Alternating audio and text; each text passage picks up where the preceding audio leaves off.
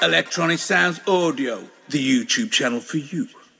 Hey, what's happening, guys? It's Dean from Electronisounds. Stick around. Today we're going to be checking out the new Crush Station plugin from Eventide Audio.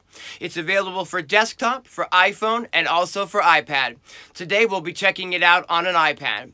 I'm going to be running a lot of different kinds of audio through it so that you're going to get a really good idea of what it sounds like and what it will do for your sound. Come on, let's get into this. The first example today uses a simple beat from the Digistix Drummer app from 4Pockets.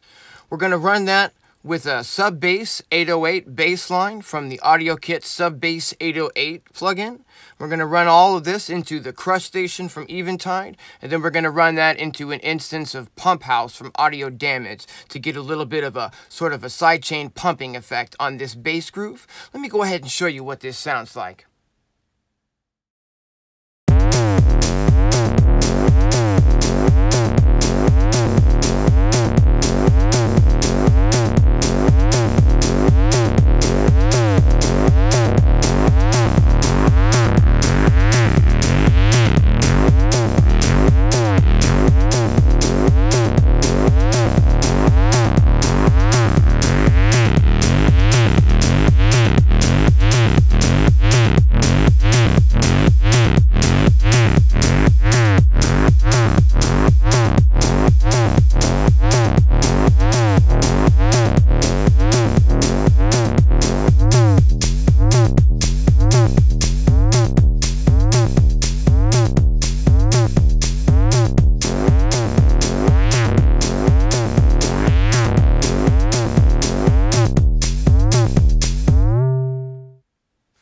Have noticed me using the ribbon controller that's built into these plugins in that last example. Let me go ahead and show you how to set this up so that you can program different customizations to the controls using this ribbon controller. It's very simple to use. All we need to do is just click the button on the left and this is going to set the state of where the knobs will be when the ribbon slider is all the way to the left. So let's say that on this particular preset we'd like to drive to be really mellow when we're uh, got the ribbon slider all the way to the left and we want the drive to be say all the way to maximum 100 when we move the slider all the way to the right. So to set the value at the bottom we just little click the little button here and we set the value. We can set this to zero if we want to be super dramatic.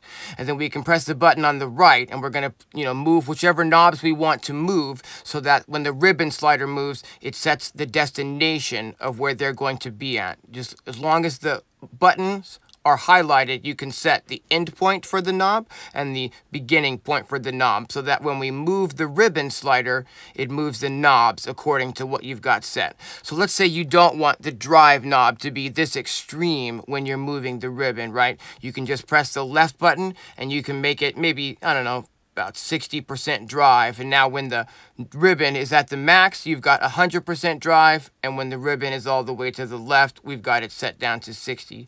You can do this for any and all of the knobs on every single preset that you make and customize inside a Crush Station. I've got out my Zox box, and what this is, is this is a Roland TB303 emulator, so it's got that acidy sound. We're going to run this into AUM, and we're going to run this into the Crush Station effect. It makes some pretty magic things happen to this sound. I'm going to give you some examples of this. Let's check this out.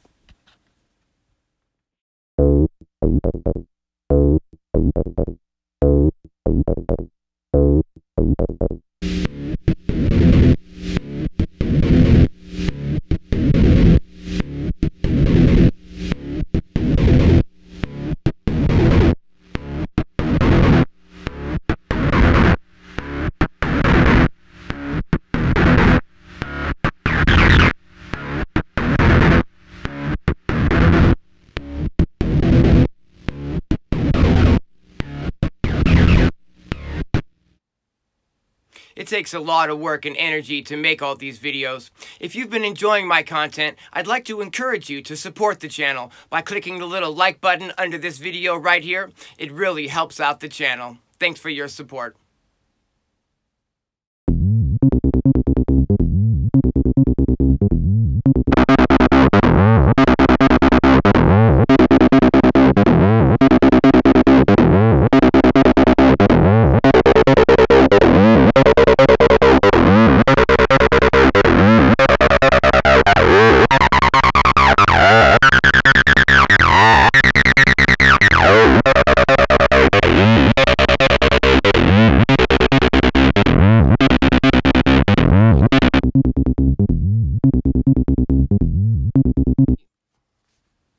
Another handy tool that they've got built into the crush station is this mix lock icon over here. And what this does is like the mix input here over the uh, amount of mix you're sending into the crush station is going to change a little bit depending on which particular preset you're using. And what this mix lock will do is it'll lock the mix wherever you've got it. So if you've got this mix uh, at 100% dry wet and then you're scrolling through, you know, the rest of the uh, built-in presets to crush station, it will keep the mix at 100% dry wet for all of these presets that you're scrolling through. Or say if you're doing some sort of a parallel distortion and you're running maybe 50% dry wet mix, if you got the lock engaged, then that will stay at 50% dry wet mix as you scroll through the presets and it won't change. I think it sounded really great on the Zoxbox. So what I've done now is I've loaded up the Troublemaker 303 emulation from Brambos on the iPad, and we're going to run that through some custom presets on the Crush Station that I've put together that really bring out the harmonics and show what this thing can do using just an iPad alone and not using external hardware.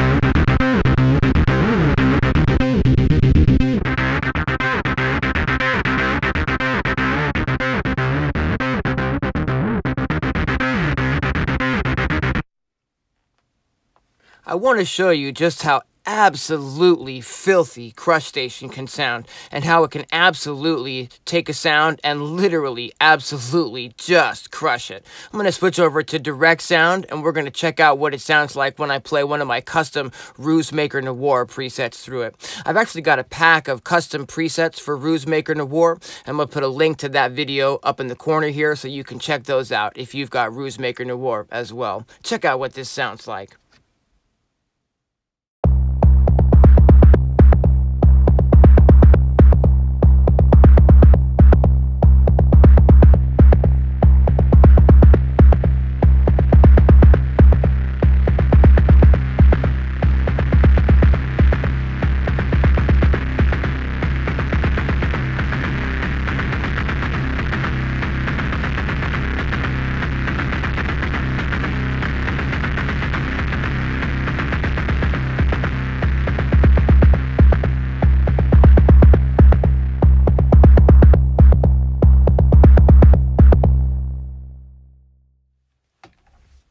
You might have also noticed this hot switch button over here, which if I press it right now, it doesn't actually affect anything on the screen. But what we can do is we can use the hot switch very similarly to how we're using the ribbon controller on this plugin. And we can set it up so when it's in an off mode, the knobs are in a certain position, and when it's on an on position, the knobs are in a different position, so that we can literally use this hot switch to click on and off different knob settings inside of the effect. Let me go ahead and show you how to get that set up all we have to do is long press on the hot switch button until it starts blinking. And now all we need to do is set the effect of the switches where we'd like them to be when the effect is on the on position. So what we maybe can do is say let's uh, bring this drive way down, maybe bring the distortion way up, and maybe bring the bass up, the mids down, change the frequency, just change a bunch of these settings, right? And now if we click the knob again, it's going to be in the on position.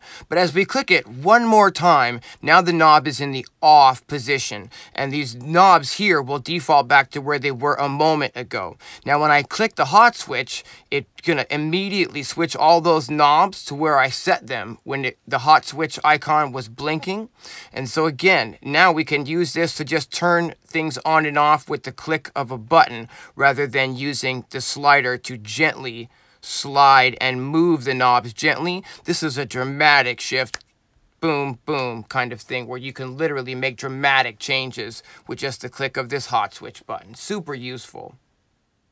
Okay, so there's a preset in here called Early 2000s Vocal Solo. So you better believe we're going to get the mic out and see what this sounds like. Check it out. Okay, I am definitely not a singer, so I apologize in advance. But I definitely think that you should hear what this does to vocals, because I think it's pretty amazing if you're looking for that distorted vocal sound. And everybody tries to take away what I feel inside and what I see today, but you know what I tell them? You gotta be like Bruce Lee, and everybody always taking too much, cause too little too late can't make you give up, so you know what I tell them? You gotta be like Bruce Lee. So we've heard Crushstation on some melodic content, and we've heard what Crushstation sounds like on the human voice. But I wanted to see what Crushstation sounds like on some kick drum sounds. I found a preset called All the Details, and I'm running some kick drums from my Elektron Digitakt sample packs into the Crushstation. Let's see what this does to kick drums. It sort of takes a distorted and fat and overly round kick drum and sort of does what it says. It sort of brings out all the details. Let's check this out.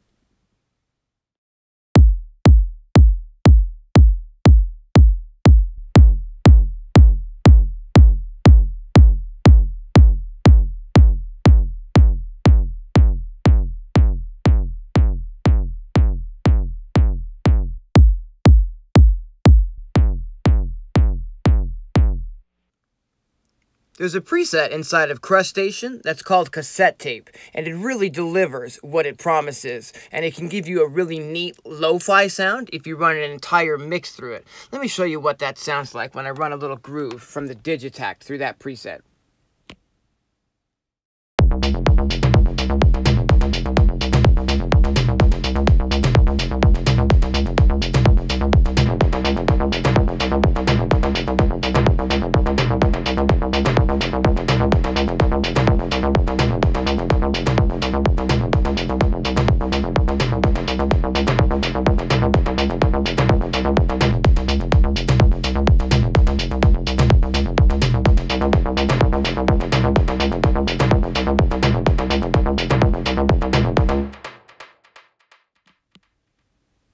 Okay, so what's my verdict on the Crushstation from Eventide Audio after having played with it for a few hours? Friends, I think they've done it again with this one. It really sounds fantastic, and I think is absolutely a must-have if you're doing any type of sound design at all on the iPad. You can really get some wonderful tones with this, and it really does a lot to your existing audio. I hope you guys have found this useful, and until next time, thanks for watching. Support your homies.